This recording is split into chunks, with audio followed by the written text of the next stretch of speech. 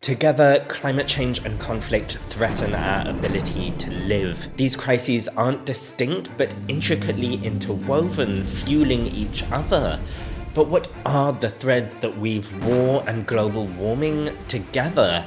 And in particular, how do war and conflict change our climate? I'm Adam, a climate scientist with a PhD from Oxford, sharing what you need to know about climate change. And today I want to answer this question from a comment on my last video. Louise asked, I would love to know climate scientists' impressions, and most of all, see some good old data about the role played by the war industry on the climate crisis. So let's talk about it. How can war drive climate change? To be clear, I'm not going to get into how climate change could cause conflict. That's a topic for another video. Another video that I have actually already made, link in the description as well as at the end of this video. Okay, so the first, and I reckon the most obvious question is, how militaries around the world drive emissions. Militaries use fossil fuels, which I mean, duh, everyone does. But is this fossil fuel use really such a big deal? And surprisingly, the answer is yes, it is. Added together, the world's militaries are estimated to be responsible for 5.5% of global greenhouse gas emissions. That covers things like energy for military operations, transport and supply chains for equipment and weapons. As the study behind that stat puts it, if the world's militaries were a country, this figure would mean they have the fourth largest national carbon footprint in the world, greater than that of Russia. I said that this stat is surprising, and it is to me, but it turns out that you, my audience, are more savvy about these things than I am. The majority of you correctly guessed the scale of global military emissions.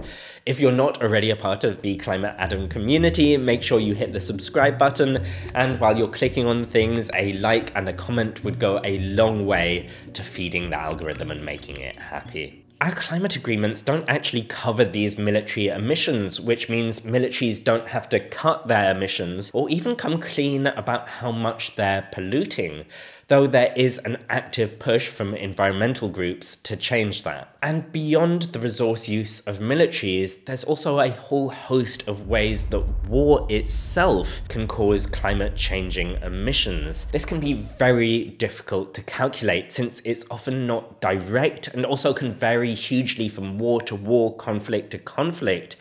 For example, burning vegetation, targeting fossil fuel infrastructure, the huge task of delivering humanitarian aid to those who desperately need it. And then after a conflict, of course, there's the energy needed to rebuild what's been lost.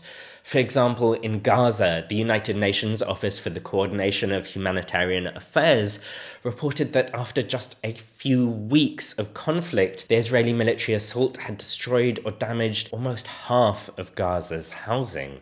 Wars don't just contribute to climate change through the emissions they cause.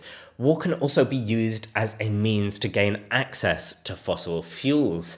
The invasion of Iraq is a devastating example of this. Many argue that the war was motivated, at least in part, by a desire to secure the country's oil reserves. The war and its consequences have been estimated to have cost at least 100,000 their lives. But conflict also influences climate change indirectly.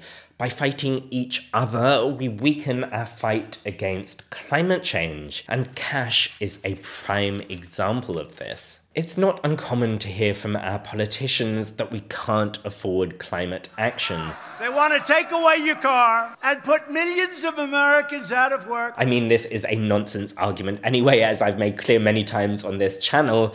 I mean, if we can't afford climate action, what on earth would make you think we can afford climate change? And indeed, a lot of work shows that countries decarbonizing would actually save them huge amounts of money, thanks to stimulating the economy, protecting people from air pollution, and, you know, stopping the climate from changing. But it is true that transitioning away from fossil fuels means spending money up front, and governments hate spending money up front.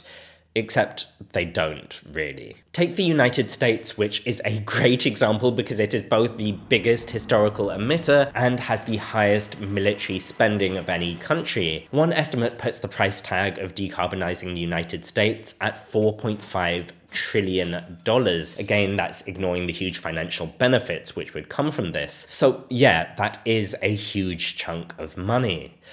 But looked at another way, that's only what the United States spends on defense in around five or six years. And I think it's a pretty open question which use of money would actually help defend the lives and well being of Americans better. This isn't just an issue for how countries fight climate change within their own borders. Wealthy nations often bankroll wars waged by other countries.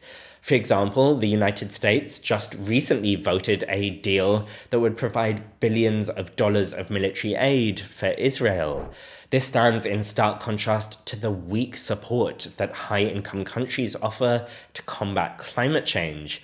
Wealthy nations promised lower income countries $100 billion in climate finance by 2020 and still haven't coughed up the cash about three years later. And so, whether at home or abroad, we see how easy it is for countries to open up their wallets for war and how much countries resist paying to protect the planet. It's not all about carbon and cash either.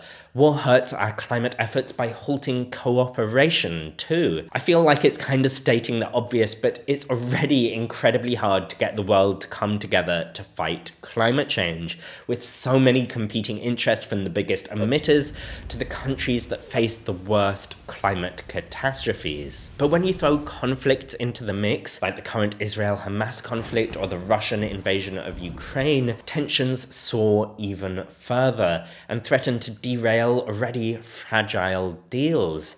And these threats to diplomacy have real consequences.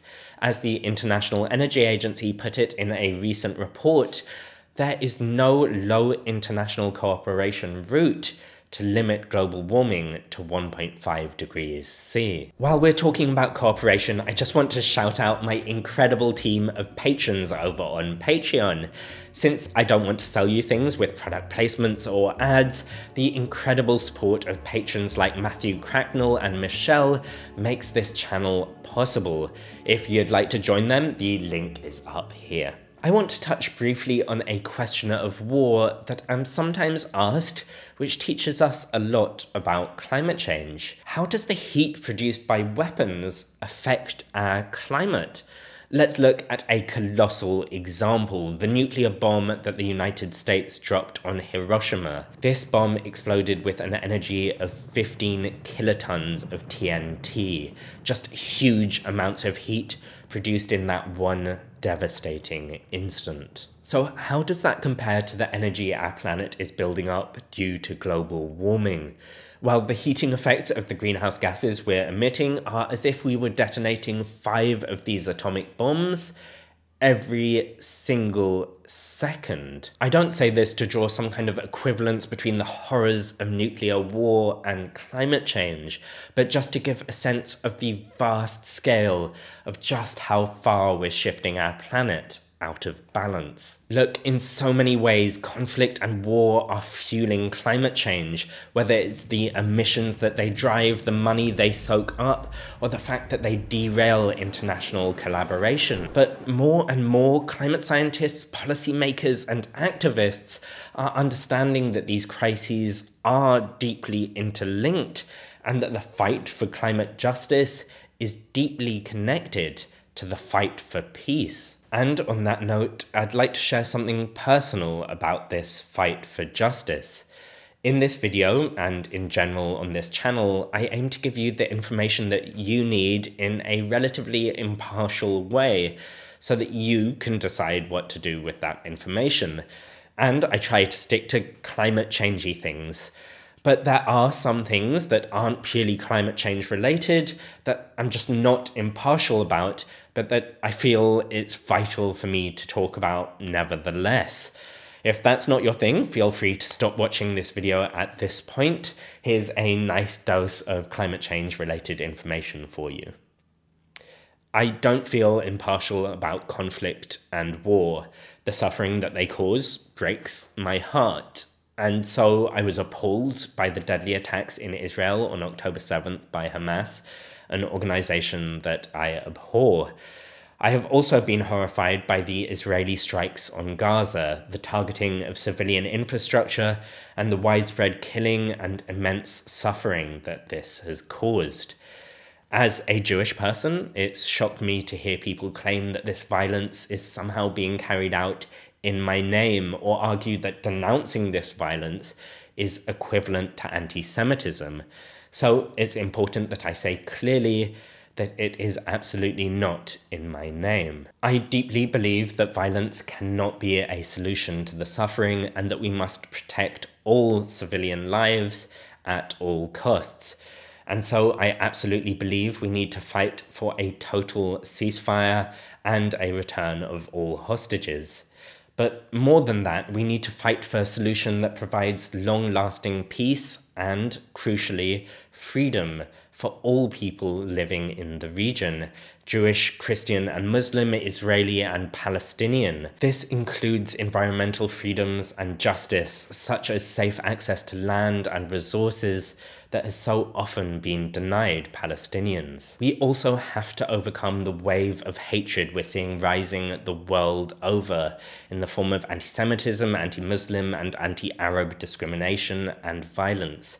This isn't new to this video, but it's worth saying explicitly, commenters promoting hatred or violence of any kind will be removed. Thank you for staying with me for that bit, it really means a lot.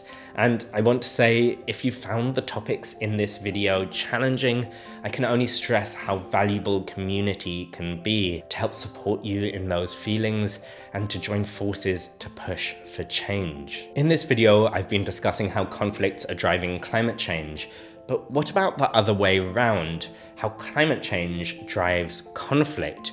Well, check out the video that I made with my pal Zentouro over here. Okay, until next time. Bye. Oh my gosh, that was a lot.